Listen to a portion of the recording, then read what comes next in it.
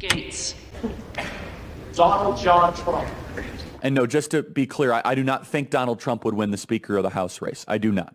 The clown show continues in Washington, D.C., as Kevin McCarthy has now lost seven rounds of voting for Speaker. They are now on to the eighth round.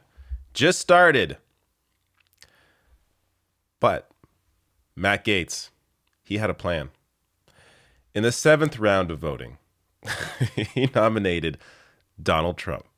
So I'm going to get to that clip and some of the other stuff going around, including some other reactions from uh, media and various people. But here is the moment that uh, Matt Gaetz casts, casts his vote for uh, Donald Trump. You can tell he's taking this really seriously.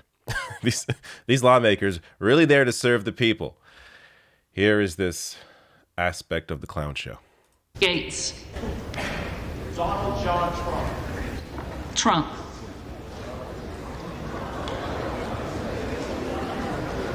Gallagher. So I had this on in the background and I heard Trump. Like, did I hear that right? did somebody really nominate Donald Trump? Turns out, yes. So you could even see Marjorie Taylor Greene, who was on McCarthy's side, even she's impressed by this, I guess, power play. I don't even know what you call this. Maybe this is an attempt to try and get Trump on their side by nominating him because playing to his ego, to Trump's ego, is the best way to try to get on his side. So I don't know. Maybe anything's possible. Maybe Trump all of a sudden tonight comes out and he's like, you know what? Now that I can really see what this this these small the small group of lawmakers what they're really about, I no longer support McCarthy. Now I support whoever they're going for now. Donald's for speaker or myself. maybe maybe Trump will run.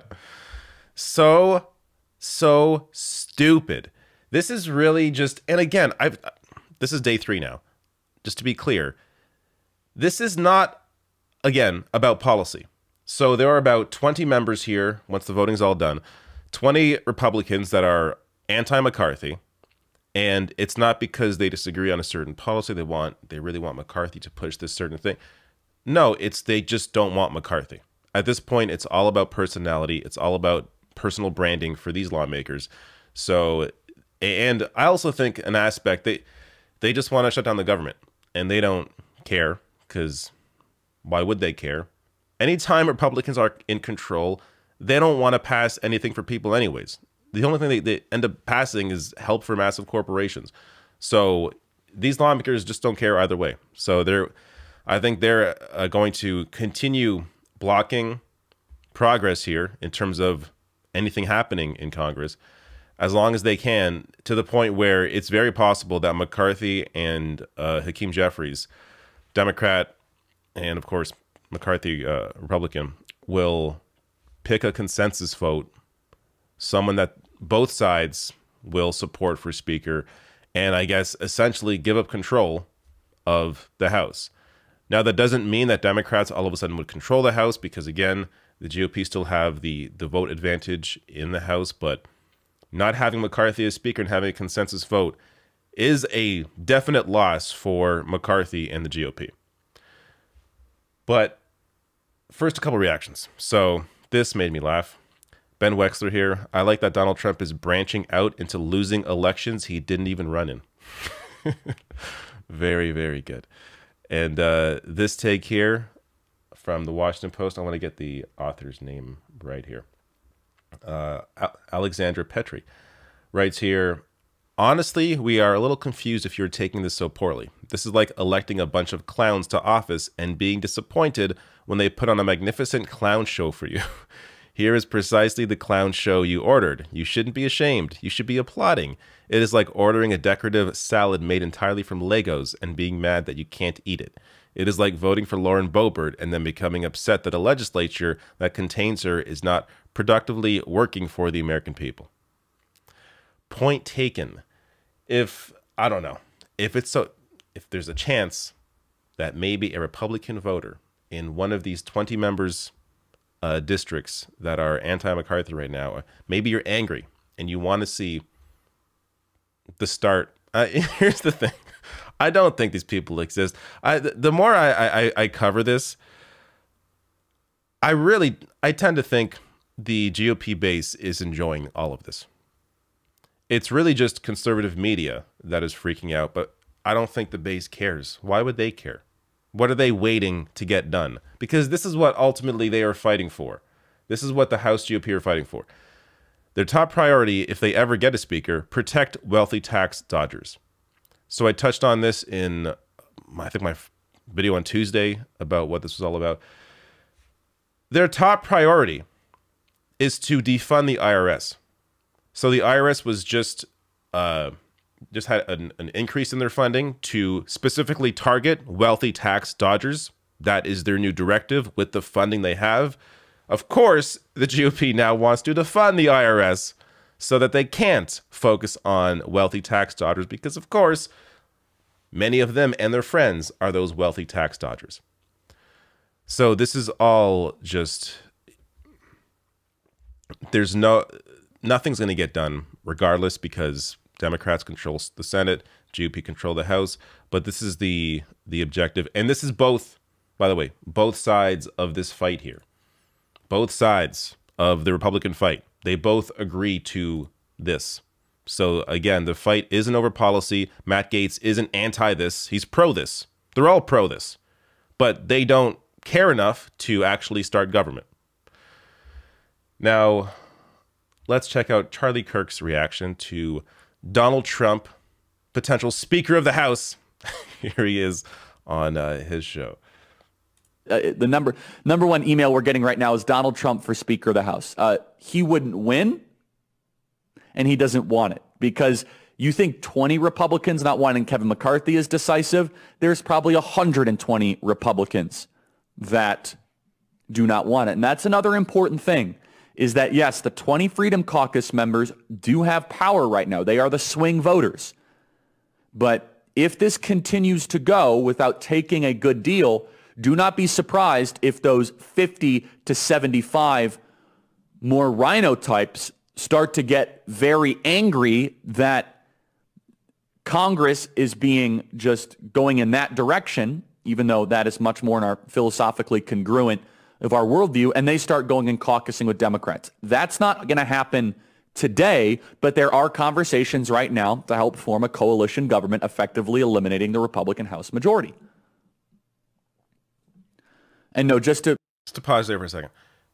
Charlie Kirk here is trying to soften up his audience because, again, I think he understands. He's closer to the base uh, than I think Fox News generally is. He understands that his supporters, his viewers, like what's going on right now. So he is trying to introduce the idea that, guys, maybe this sucks because it's very possible that Republicans will end up having to work with Democrats to choose a consensus uh, speaker, and that will, I guess, essentially uh, lose the majority for Republicans, even though they still control in terms of the actual voting numbers. To be clear, I, I do not think Donald Trump would win the Speaker of the House race. I do not. There are at least 100 very moderate Republicans that are saying they're only going to vote for McCarthy. But that's why I said yesterday Donald Trump should be there negotiating the deal. I think it's a mistake for Donald Trump not to be in D.C. helping negotiate the deal. He wants to be president in 2024 help get the impossible deal done. I think it's a missed opportunity. I really. It's very uh, weird to see Charlie Kirk make an accurate point because typically he's going on about some bullshit. He's generated some anger about the left. But when it's time to actually face what your own party is doing, in terms of what what their position is and how they want to achieve power and hold on to power, Charlie Kirk is correct that, yeah, maybe McCarthy should win so that they're able to have power. Now, again, my position, I don't give a shit. But when it comes to a Republican, he's right in terms of actually gaining power. That, you know, it could be a lot worse here if uh, this path, if they continue going down this path. And Donald Trump, an accurate criticism of him here as well, that if McCarthy really supports, or if, if Trump really supports McCarthy, then why isn't Trump down there trying to put some actual in person pressure on these members, which I think would have a potential impact. I mean, him putting out stuff on Truth Social, no one cares. But him actually being there in person, I think would have an impact. But of course, Trump doesn't want to do any work. He's not going. Trump's not going to go there. He doesn't want to have to do anything. So that's not happening. But Fox and Friends, I just want to end on on this little Fox and Friends thing here because they are also, as most of Fox News main hosts are, in support of McCarthy, against what is happening right now within the party, within this the vote for the speaker. So Fox and Friends shames 20 Republicans holding up speakership and calls out supporters. You voted for them. Here's the thing. Before I even show you a clip from this piece, they had Boebert on their show back in 2019. Speaking to Fox and Friends on Saturday, Lauren Boebert, the woman who confronted Beto O'Rourke, she was not even running for Congress. They're the ones that helped to prop her up, made her famous. Same with Sean Hannity, who had, I may do a separate video on this. Hannity had Lauren Boebert on a show last night, berated her. but they propped her up. This is, these are the chickens coming home to roost. You set this up. You did this to yourselves, which is why this has been so fun to watch because they're the ones that are now people at Fox, these hosts and other conservative media. They're the ones that help to uplift these maniacs. And now, when the maniacs get out of line, you're all surprised. It's wonderful seeing this party tear itself apart. So, here is a piece from their uh, Fox and Friends segment. It'd be interesting to see it where it's not 20 votes or 19 votes. If you go ahead and do that vote at noon and it's down to 10, Uh-huh. After these concessions. they after these concessions, they go, okay, you know, Chip Roy and company go, you basically did everything we asked.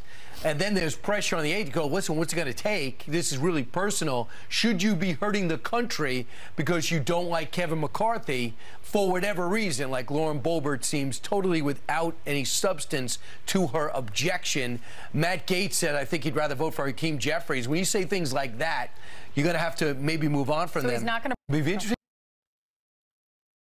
These same people that propped up both Boebert and Gaetz and every other lunatic on the right now all of a sudden so angry that their lunatics won't fall in line.